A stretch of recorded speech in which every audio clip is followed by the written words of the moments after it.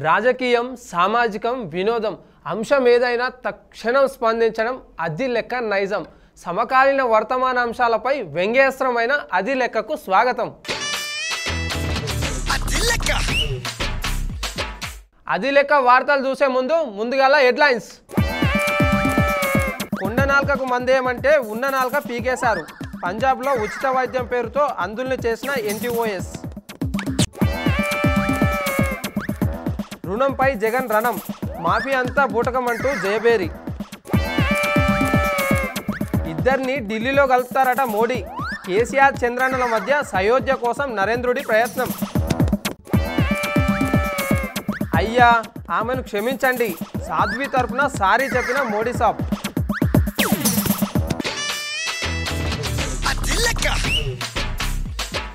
ఏంది? ఇవాళ డైరెక్ట్గా డ్రైవర్ రాముడే వచ్చి నన్ను చూస్తున్నారా?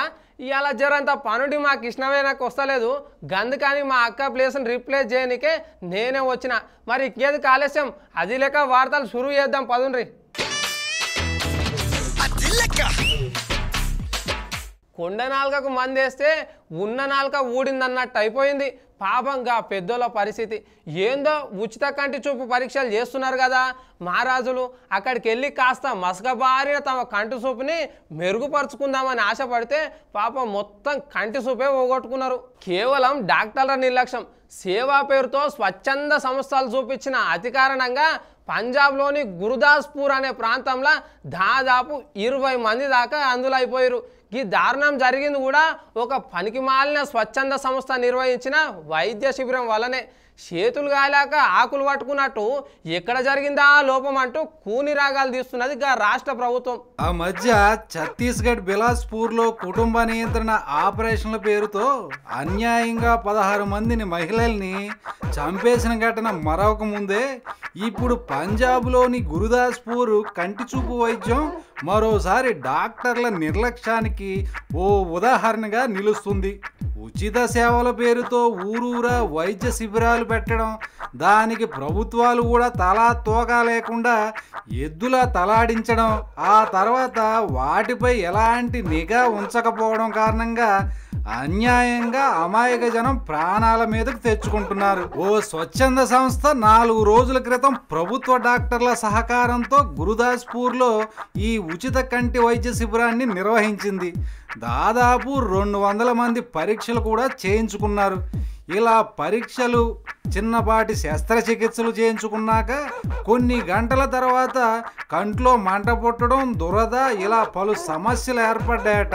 ఇలా సమస్యలు ఏర్పడడంతో అమృత్సర్లోని ఓ హాస్పిటల్కి పరుగుపెట్టారు బాధితులు బాధితులు. లబోదీబోమంటున్న అక్కడ వాళ్ళందరినీ చూసి డాక్టర్లు పరీక్షలు నిర్వహించగా సుమారు ఇరవై మంది వరకు శాశ్వతంగా కంటి చూపు పోయిందని తేల్చారు డాక్టర్లు. చేతులు కాలేక ఆకులు పట్టుకున్న చందంగా ఇప్పుడు ఆ రాష్ట్ర ప్రభుత్వం కూడా దీనిపై పరుగులు పెడుతుంది ఇప్పుడు. పాపం అమాయకులు పోగొట్టుకున్న చూపుని తిరిగి తీసుకురాగలరా చెప్పండి? సిగ్గు సిగ్గు. అది లెక్క వార్తల చిన్న బ్రేక్ తీసుకుందాం.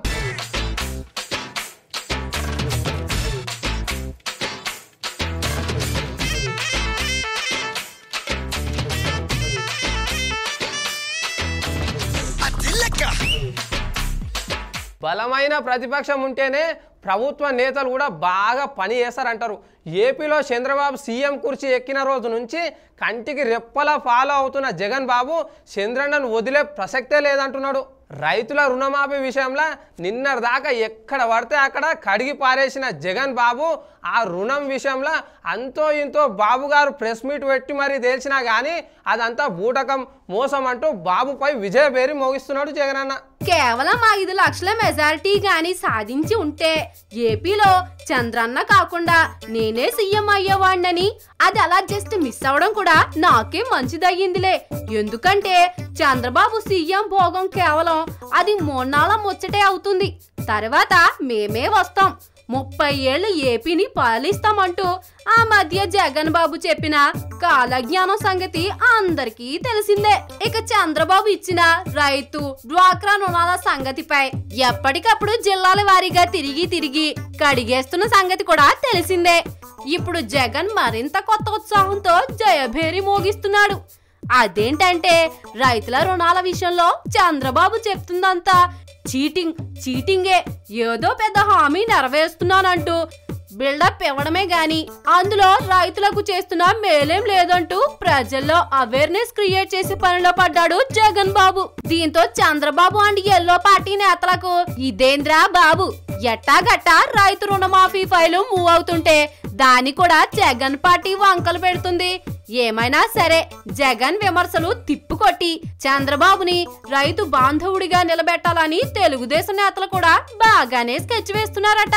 అసలే రాజధానిలో భూసేకరణ వంటి విషయాల్లో సవా లక్ష సమస్యలతో కింద మీద పడుతున్న చంద్రబాబుకి నిద్రలోనూ కలవరపడేలా చేస్తున్న జగన్ బాబు వరుస ఓ పెద్ద సమస్యగా మారింది ఇప్పుడు. రెండు తెలుగు రాష్ట్రాల ముఖ్యమంత్రుల మధ్య పచ్చగడ్డేసే బగ్గు మంటదన్న సంగతి అందరికీ తెలిసిందే. నీళ్ళు కరెంటు ఉద్యోగాలు విద్యార్థుల స్కాలర్షిప్లు. ఇట్లా ఒకటేంది? ఏ పెద్ద విషయం నుంచి చిన్న చితక విషయాల దాకా ఇద్దరు నాయకుల మధ్య లొల్లే లొల్లి. గీ లొల్లికి పులి స్టాప్ పెట్టనికే కంకణం కట్టుకున్నాడంట మన మోడీ సాబు. రేపో మాపో ఢిల్లీలో దేశంలోని ముఖ్యమంత్రులందరినీ పిలుచుకొని బోల్డ్ అని సంగతులు మాట్లాడాలనుకుంటున్నాడట మన పిఎం నరేంద్ర మోడీ సాబు. ఇలా ఢిల్లీ పోయే నాయకులందరికీ వరుసగా కుర్చీలేసి కూర్చోబెట్టే ఎలాగో ఓ పెద్ద ఉపన్యాసం చేస్తాడనుకోండి అది వేరే విషయం. కానీ గుంపులో గోవిందలాగా కేసీఆర్ని చంద్రబాబుని కలపకుండా వీళ్ళిద్దరి కోసం సెపరేట్ మీటింగ్ కూడా పెట్టాలనుకుంటున్నాడట మన మోడీ సాబు. ఇద్దరు ఆయన దానికి కాందానికి ఒక్కటే కొట్టుకుంటున్నారు కదా. అందుకని ఏదో ఒకటి చేసి ఇద్దరిని కూకోబెట్టి నాయనలారా ఇద్దరు పొట్టేల్లా కొట్టుకోకండి. ఆలు మగల్లా కలిసి ఉండండి. కలిసి ఉంటే కలదు సుఖం. ఇలా జోరుగా షికారుగా మీ మీ రాష్ట్రాలను పరిపాలించుకోండి అంటూ నేతలిద్దరిని ఒకే సోఫాలో కూర్చోబెట్టి జ్ఞానబోధ చేయనున్నారట మోడీ. మంచో చెడో. మోడీ మాత్రం ఇద్దరు సీఎంని కూర్చోబెట్టి మాట్లాడితే పంపకాలు తెంపకాల విషయంలో కొంతలో కొంతైనా సమన్వయం జరిగే అవకాశం ఉందంటున్నారు రెండు రాష్ట్రాలకు చెందిన పెద్దలు. అది లేక వార్తలలో మళ్ళీ ఒక చిన్న బ్రేక్ తీసుకుందాం.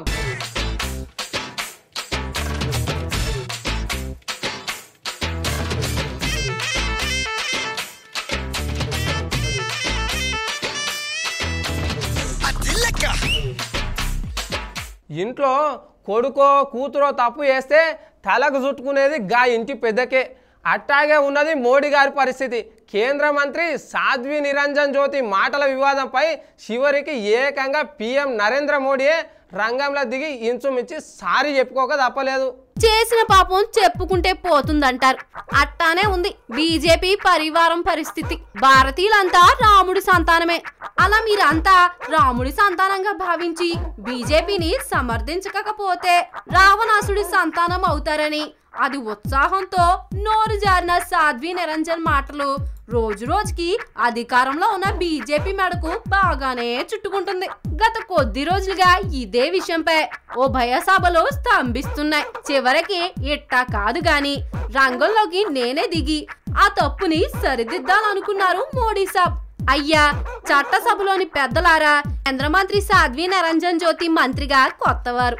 పాపం ఆమె వ్యాఖ్యలను పెద్ద మనసుతో క్షమించాలి అంటూ రెండు సభల పెద్దలకు మోడీ విన్నవించుకోక తప్పలేదు. మొత్తానికి ఇలా మోడీ శిబిరంలోంచి కాషాయవాదం ఒక్కొక్కటిగా బయటపడడంలో చిన్నపిల్లలు కూడా బాగానే రెచ్చిపోతున్నారు ఇప్పుడు. మొన్న సాధ్వి నిన్నేమో త్యాగి. రూపాలు వేరైనా వాదాలు ఒకటే. అది లెక్క వార్తలు ముగించే ముందల హెడ్లైన్స్ మరొకసారి చూద్దాం. ఉన్న నాల్కకు మందేమంటే ఉన్న నాల్క పీకేశారు. పంజాబ్లో ఉచిత వైద్యం పేరుతో అందుల్ని చేసిన ఎన్టీఓఎస్. రుణంపై జగన్ రణం మాఫీ అంతా బూటకమంటూ జయబేరి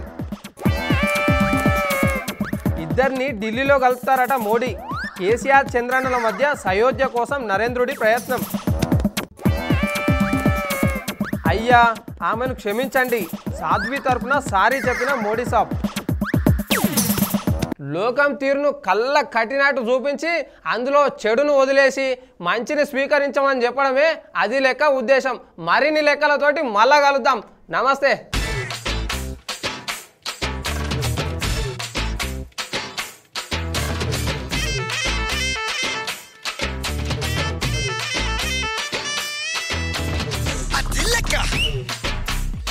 దసరా నాడు ఒకప్పుడు చనిపోదాం అనుకున్నాం మన దసరా అప్పుడు కానీ ఒకసారి తెలంగాణ సీఎం వచ్చింది కదా నేను కలిసి మన ఆపద